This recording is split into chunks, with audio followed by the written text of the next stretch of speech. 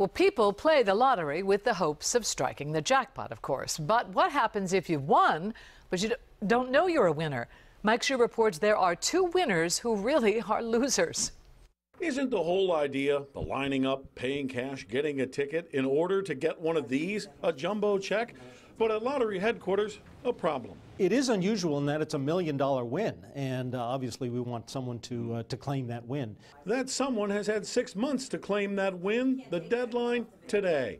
And just last week, someone who bought a million dollar winner in Dundalk missed their deadline. So these people who were throwing away a million dollars, they weren't the big winners, the $300 million or so. They were the secondary winners. They only got five of the six numbers, which lead lottery officials to think that maybe they heard that the big ticket wasn't sold at their store or even in their state so they never check their numbers. I think it's just carelessness. Antoine Antonio Smith says no way it would happen to him.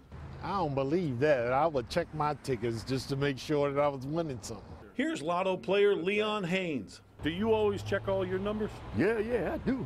No sense, you know, buying it and you don't check it. In the past three years, some $60 million in unclaimed prizes have gone back into the prize pool to be distributed in a second chance drawing. Do you ever think you'd leave a million dollars on the table? Hell no. Mike Schuh, WJZ Eyewitness News.